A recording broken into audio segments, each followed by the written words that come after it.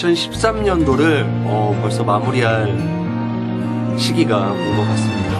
저는 개인적으로 굉장히 올 한해 간다라는 게 아쉽고 그리고 또 돌이켜보면 어, 그 어떤 해보다 또 많은 것들을 느낄 수 있었고 많은 것들을 했던 한 해가 된 것 같은데 여러분들도 이제 2013년도 잘 마무리하시고 2014년도에는 더욱더 어, 원하시는 거 그리고 이루고 싶어 하시는 거 꼭 이루길 어, 이민호가 진심으로 바라겠고요. 어, 새해 복 많이 받으시고요.